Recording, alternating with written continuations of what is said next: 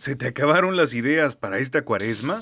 Comienza mezclando polvo de chiles, cilantro, ajo en polvo, pimienta negra, jengibre en polvo, albahaca, mayonesa, salsa inglesa y mantequilla fundida. Tomamos unas mojarras limpias y barnizamos con la mayonesa de chiles por ambos lados.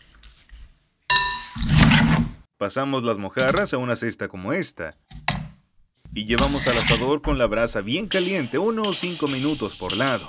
No olvides barnizar las veces que lo desees para que no se pierda el saborcito. Nos tienen que quedar así de doraditas. Acompañamos con una ensalada. Y listo. Esta mojarrita al asador sabe... Delicious.